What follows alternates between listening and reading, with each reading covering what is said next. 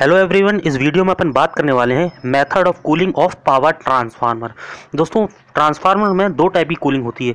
एक air type cooling होती है और एक ऑयल टाइप की कूलिंग होती है। अब अपन डिटेल में बात करेंगे कि एयर टाइप की कूलिंग किस टाइप की होती है और ऑयल टाइप की कूलिंग किस टाइप की होती है। फ्रेंड्स जो राइट हैंड साइड पर जो आई बटन दिख रहा है ना, उस पर भी क्लिक करके आप इलेक्ट्रिकल इंजीनियरिंग से रिलेटेड वीडियो देख सकते हैं। चलिए अपन देख लेते हैं कि एयर टाइप की अब कूलिंग क्या होती है। देखिए एयर टाइप की कूलिंग दो टाइप की होती है। कि एयर नेचुरल कूलिंग जिसको बोलते हैं ए एन कूलिंग और सेकेंड होती है एयर ब्लास्ट कूलिंग ठीक है, अब चलते हैं, देख लेते हैं कि ऑयल टाइप कूलिंग किस किस टाइप की होती है। फ्रेंड्स देखिए, ये है ऑयल टाइप की कूलिंग जैसे इसमें फ़र्स्ट है oil natural air natural cooling जिसको बोलते हैं O N A N cooling और फिर है ऑयल नेचुरल एयर फोर्स जिसको बोलते हैं O N A F cooling और थर्ड है oil natural water force O N W F cooling और अपना फोर्थ है oil force air natural O F A N cooling और फिफ्थ है oil force air force O F A F cooling और last है अपना oil force water force ठीक है जिसको बोलते हैं O F W F cooling friends जितने टाइप की कूलिंग है अपन इसकी डिटेल में बात करेंगे और इसमें क्या डिफरेंस होता है इन सब कूलिंग में उसको वो भी मैं बताऊँगा चलिए अब अपन देख लेते हैं सबसे पहले कि एयर नेचुरल कूलिंग क्या होती है फ्रेंड्स जो एयर नेचुरल कूलिंग होता है उसमें देखिए क्या लिखा है the transfer having small output 5 to 10 kVA and cooled by this method. In this method, the external surface is sufficient to dissipate the heat produced by the losses. Friends इसका मतलब मैंने ये है कि ये जो कूलिंग होती है, ये पाँच से 10 के के ट्रांसफार्मर में अपन इस टाइप कूलिंग यूज़ करते हैं। और इस कूलिंग में ये होता है कि इसमें ऑयल यूज़ नहीं होता है, जो नेचुरल एयर होती है ना एटमोसफियर की, इसके थ्रू अपन कूलिंग कर सकते हैं। है ना? इसमें पहले मैं फिर बता रहा हूँ, इसमें कोई कोई भी ऑयल वगैरह यूज़ नहीं होता। और जो भी इसमें लॉसेस प्रोड्यूस होते हैं, ठीक है, वो अपनी नेचुरल एयर से, ठीक है डेसीपेट हो जाते हैं। फ्रेंड्स जो है डायग्राम में देख रहे हैं ना आप, ये ए एन कूलिंग है ना एयर फोर्स कूलिंग है। देखिए, इसमें कोई ऑयल वगैरह यूज़ नहीं होता है, कि जो भी लॉसेस होते हैं, ये डेसिपेट हो जाते हैं एयर से, ठीक है? जो एटमोसफियर की एयर होती है, वैसी। यानी ये छोटे ट्रांसफार्मर की यूज़ यूज़ होता है। इसमें कोई भी विंग्स वगैरह भी आपको नहीं दिख रहे होंगे। चलिए फ्रेंड्स अब अपन देख लेते हैं कि एयर ब्लास्ट कूलिंग कौन सी होती है, ठीक है? देखिए फ्रेंड्स ये है एयर ब्लास्ट कूलिंग इसमें देखिए फ़र्स्ट पॉइंट क्या लिखा है? This type of cooling is use in dry type transformer यानी जो ड्राई टाइप का ट्रांसफार्मर होता है, उसमें एयर ब्लास्ट कूलिंग यूज़ होती है। अब सेकेंड है in this method the heat dissipation is improve by the continuously blast of air force through the core and winding यानी इसमें डायरेक्ट अपन एयर का फोर्स देते हैं इसके वाइंडिंग में और इसके कोर्स में, तब ये कूल्ड होती है इसकी वाइंडिंग ठीक है थर्ड है the air blast is produce by means of external fans and blower यानी एयर ब्लास्ट अपन जो प्रोड्यूस होगा, किसके थ्रू होगा? एक्सटर्नल सोर्स के कारण प्रोड्यूस होगा, जो कि अपन फ्लैन और ब्लोवर अपन यूज़ करते हैं ना, उसके कारण, ठीक है? अब इसमें फोर्थ है this type of cooling is limited to the transformer of voltage rating not exceed 25 के है ठीक है? यानी 25 के बी से ज़्यादा के ट्रांसफार्मर में ये कूलिंग यूज़ नहीं होती है, ठीक है? फ्रेंड्स जो ये एयर ब्लास्ट कूलिंग है, ठीक है, इसमें क्या होता है, अपन एक्सटर्नल फोर्स यूज़ करते हैं, जैसे फ़ैन हो गया ब्लोवर्स हो गया, ठीक है? इसके थ्रू फिर अपनी वाइंडिंग ठंडी होती है। और ये मात्र यूज़ किसमें होता है? इस टाइप की कूलिंग एयर ब्लास्ट कूलिंग अपनी ड्राई टाइप के ट्रांसफार्मर ड्राई टाइप बोले तो जिसमें अपना ऑयल यूज़ नहीं होता है।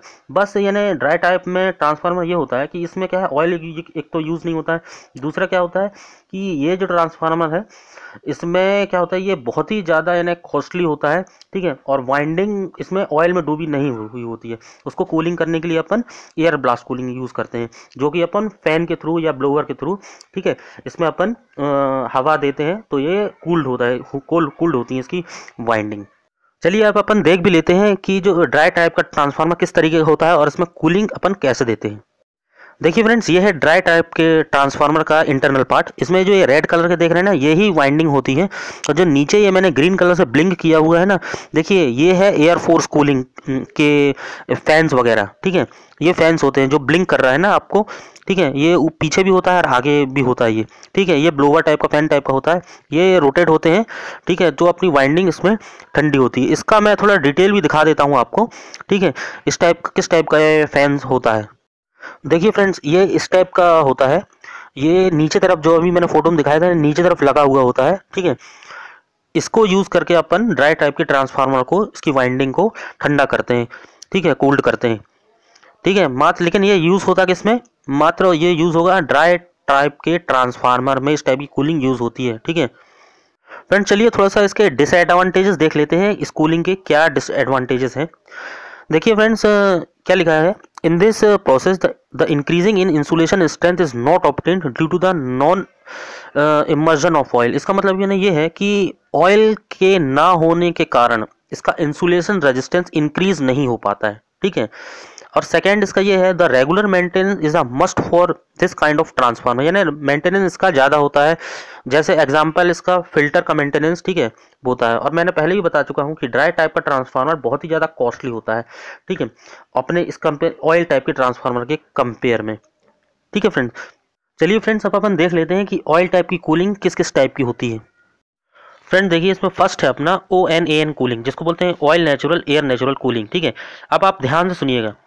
इस मेथड में वाइंडिंग नेचुरल ऑयल से कूल होती है और ऑयल एयर से कूल होता है।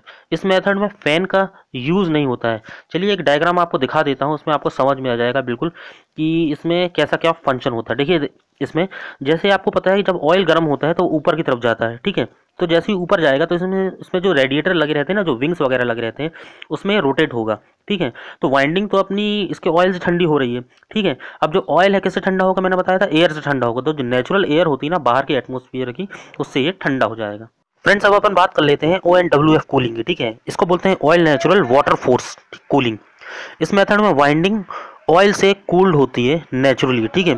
और ऑयल वाटर पंप से कूल होता है। ठीक है, यानी इसमें वाटर पंप का यूज़ करते हैं। ठीक है किसके? ऑयल को कूल करने के लिए। फ्रेंड्स अब अपन बात कर लेते हैं O N A F cooling की, ठीक है? इसको बोलते हैं oil natural air force cooling इस मेथड में वाइंडिंग ऑयल से कूल होती है नेचुरली और ऑयल एयर के फोर्स से कूल होता है। यानी फ्रेंड्स इसमें जो वाइंडिंग होती है, वो ऑयल के थ्रू कूल होती है और जो ऑयल होता है एयर के फोर्स के थ्रू कूल होता है। जैसे देखिए, इस डायग्राम में देखिए आप जो ये इसमें वाइंडिंग होगी इस ट्रांसफार्मर में, इसकी वाइंडिंग देखिए, इसके अंदर ऑयल होगा, ठीक है? ऑयल तो ठीक है ऑयल के कारण अपनी जो वाइंडिंग होती है, वो अपनी कूल हो जाएगी। अब लेकिन जो ऑयल कूल कैसे होगा? देखिए फ़ैन लगा है, ठीक है? जब ये फ़ैन का फोर्स इसमें लगेगा ना एयर का फोर्स जब इसमें इसमें लगेगा ऑयल में, ठीक है? तो ऑयल अपना इसमें कूल होता है। फ्रेंड्स अब अपन बात कर लेते हैं O F A N cooling की। इसको बोलते हैं oil force air natural cooling इस मेथड में वाइंडिंग कूल होती है ऑयल पंप से और ऑयल कूल होता है एयर नेचुरल से। यानी जो अपनी जो वाइंडिंग होती है, वो ऑयल के थ्रू कूल होगी और जो ऑयल होगा, वो एयर नेचुरल से कूल होगा। इसमें ना कोई फ़ैन वगैरह का यूज़ नहीं करते हैं। बस इसमें एक दो चैम्बर एक चैम्बर होता है, उसके लिए। जैसे इस डायग्राम में देखिए, आप क्लियर हो जाएगा इसमें। जो अपना टैंक होता है ऑयल टैंक होता है, इसके अंदर अपना ऑयल होगा, ठीक है? और इसमें दो पंप यूज़ करेंगे। तो जो फ़र्स्ट वाला, जो ऊपर वाला पंप होता है, वो ऑयल को खींचेगा दूसरे वाले चैम्बर में और सेकंड वाला पंप है ना इसको, जो नीचे पंप है, ये भी एक पंप है, ठीक है?